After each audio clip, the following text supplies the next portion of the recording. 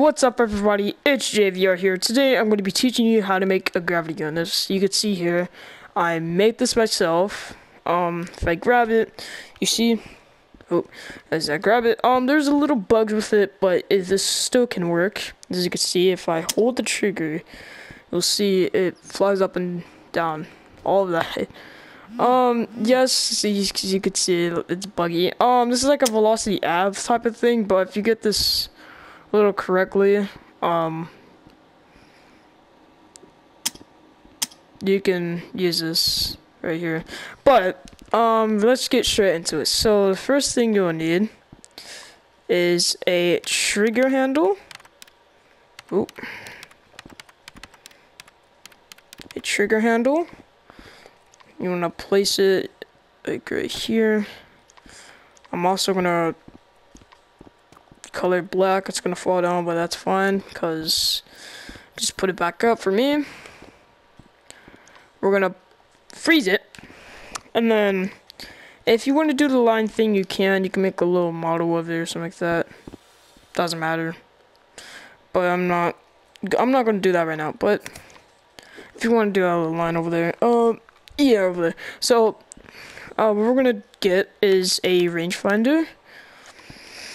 You will need this for a raycast. Um, this is actually pretty important to make it so it actually hits the player and not something else. But this also tracks objects too, so don't worry if you're using it for objects. Now you're gonna bring a, you want to configure the rangefinder. You're gonna find this. Change the distance meet units to meters because that's what it's going to be on the raycast and you want to you want to turn on show laser when gadgets are hitting. Then what you're also going to do is you want to put any color you want. I'm just going to put it like i don't know like white or something like that. Um but anyways now that you got that off you also want to get a piston. This is what it's going to get to set its distance of whatever but get a piston right here. Right here. And then we're going to get a clamp. So if you're putting that little line over there that I just showed you, um, you have to connect it to the top too. So you want to put the piston to the top. You want to put the rangefinder to the tip of the pin of the clamp right here. Then you want to unfreeze the trigger handle and then wire it to the bottom of the clamp. Then freeze it back again because we're still using. We're still gonna use it. What you're, what I'm gonna do is I'm gonna organize this. So, so after you get this, oh, you accidentally use it. Uh, that's no, you're fine. Um, so we're gonna do is First thing we're going to get is a get forward vector. This is going to get the forward vector of this trigger handle right here. And we're going to also get a get position.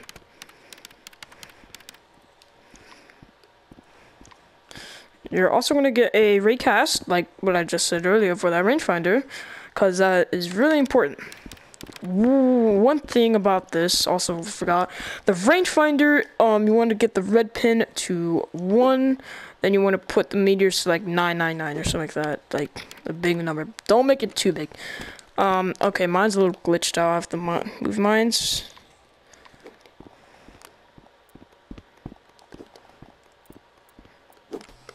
Okay, that's not bad, but you're still gonna accept it. Um, we're gonna put this here, or yeah, like we're gonna get a raycast. We're gonna get, so, we're gonna get a if chip right there, a get position, another get position actually. Where you're gonna use it for this piston right here. And then we're also gonna get is we're gonna wire the get position on the top here to the trigger handle and the get forward vector to the trigger handle. This get forward vector is going to go to the direction of the raycast because this is going to be the direction. It's a forward vector as you can see and the position is going to be the position right here. Put this max distance to like the exact same of the rangefinder that you put. I put 999 right there as you can see. And we're going to put this hit to the condition of this if chip and the input to pressed. Oh, to pressed. And then you want to get two velocity sets. We're going to use this later on for this to be a little build. After that, you want to get a pl player variable. I think so. That's what it's called.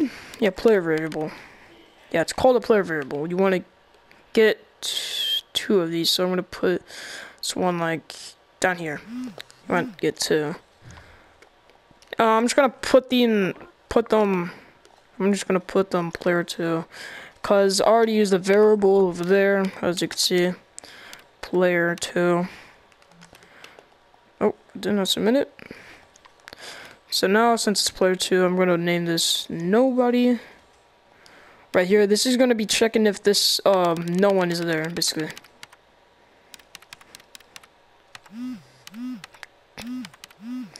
Okay, might watch notifications. After that, uh, what you're gonna do is you want to get an equals chip. Equals, you want to put this on the nobody. Well, change this local player to none, which is gonna be invalid. Then you want to put this, uh, the output to the bottom. Then we're gonna use this first. So, we're gonna get another get position and you want to get uh you want to get a rec room? Object variable. Oh augie. Can't join right now. Uh, rec room object. And I think so it's gonna be somewhere around here. Yep rec room object. Uh, I'm just gonna put this right here. And just gonna keep it right there. And then we're gonna be checking if uh, so this player right here, this player is going to be determining if this is true or not, what it's going to be, which is invalid right now because the raycast didn't hit yet. So, what we're also going to get is a piston set distance. Switch on over there. Piston set distance right here. Put the then on the if chip for the hit to the piston set distance, then the target's going to be the piston. And then the value is going to be the distance. What this is going to determine is any object around you using the um, object collision data, it's going to basically pull it on the wall. It's going to use the collision. If it's decorational, I do not know if it's going to do the same thing, but I, I doubt it. And then you want to wire this piston set distance to the player right here. And you want to also put this to the get position. We're going to use this get position later with something. Put this output to the rec room object variable. And then this little rec room object goes to the object of the raycast. Right there. We're also going to get a get position for that too. So. And what you're going to get yeah, get position, wire it to the target. You want to get two subtract chips. Uh, subtract. And put a subtract right there and put a subtract right there. Put this um, player variable to the bottom of the value right here. And this top value, we're going to get the this get position right here and there, the piston. We're going to put it to the piston, the little top thing, the quaternion, whatever that's called. And you want to put this position to the top. Then what you're gonna do is you want to wire it to this this one, this first velocity set right here. This difference is gonna go to the direction. The target for the top um, velocity set is gonna be the player right here, this little pin, the output I think, and Oh yeah, I think yeah, it's there. So after that, you want to get uh, the room variable. The you want to do the exact same thing. So put this at the bottom value on the subtract chip. This top one is going to be the piston. What this is going to compare, it's going to subtract the both values. This one says error because we haven't tested it yet. It's only going to change if we use it on a player or an object. And then you want to put this one to the bottom velocity set basically. And this target is going to be the... Okay. to the this pin right here of the rec room object variable. And then after that, um, I think so, you're gonna put this equals chip, the top A, it's gonna be the player, and I'm lagging a little bit. So, um, we're not done yet. We need two more things, I think. Need uh two if chips. And we're gonna be checking if this is held. Basically, if this is held, basically. And we're gonna be seeing, uh, you wanna get this two if chips. First one is gonna be if the primary action is held. And then you wanna put the then to this if chip to the second if chip on the input. Um, this one is going to be ran by an event receiver. So we're going to get an event receiver. Oh, event receiver. And we're going to configure it to be update 30 hertz. And then after that, what you're going to do is we're going to put this then on the second if chip to the bottom velocity set, then the else is going to be the top one, basically. It's going to be a little swapped. Then after that, um, I think we should be done here. I am feeling it. Should be done right here. So, uh, we can test it right now, I think. I think so this is gonna work, I don't know. Might not sure, but I think so you're supposed to have three of these right here. Three. But uh we're gonna test it right now.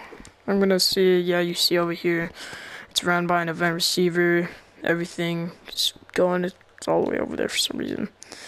Yeah, it's um doing great, basically. Object one, is top value to the bottom one.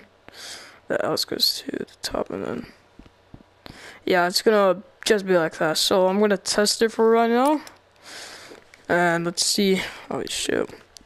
Also, I forgot, if you wanna make your trigger handle to stay still, use an animation gizmo. If you don't, just don't. But uh, you want to unfreeze the trigger handle, then you want to connect it to the top of the animation gizmo and then freeze it again. Get, click configure. The red part is going to be one, then you can unfreeze the trigger handle. That should be gone. As if we should, we should see this. Oh, it's a little bugged.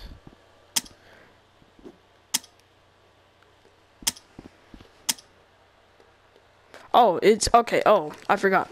Um, I forgot to put this event receiver in. I sorry. I'm gonna put the event receiver in, and then we're gonna test it. Oh, it's working. As you can see. Alright, uh, I'm gonna use you as a testing. Mm -hmm. This can also work for players too. If you did not know, that's why we use the variables over there to set it. And then see if I use you, he's gonna be flying. And if I could, just, I could just do this. You could do this to your friends. It's a little buggy than the other inventions, but you can customize it, you can decorate it, and that is how to make it. Hope you guys enjoy. Please like and subscribe. Yep, I also hit 300 subscribers, so please celebrate me, and hope I see you guys like tomorrow or something, and goodbye.